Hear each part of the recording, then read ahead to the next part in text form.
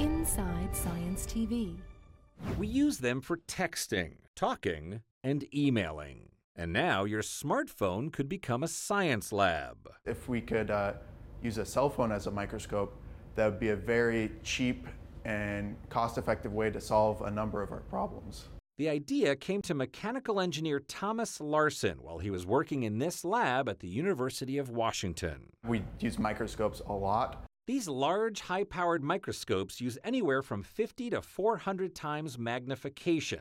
But This entire microscope system costs about $2,500. Larson developed a tiny lens that costs just one cent to make, creating a handheld smartphone microscope. Just go into camera mode, nothing fancy, stick it on, and it adheres onto the lens, so it's on there.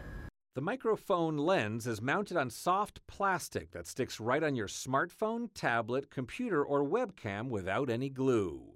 Three rubber feet uh, around the lens, so simply by pressing on the microscope slide, you can bring it in and out of focus. The lens can magnify up to 150 times. Larson is already working with doctors detecting cancers, potentially helping to save millions of lives. Screen for parasites, um, screen for, for blood diseases. An ingeniously simple, inexpensive microscope that could change the way we see the world. I'm Josh Lebowitz, reporting.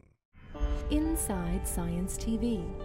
If you enjoyed this edition, follow us on the web and social media. Powered by the American Institute of Physics and a coalition of underwriters.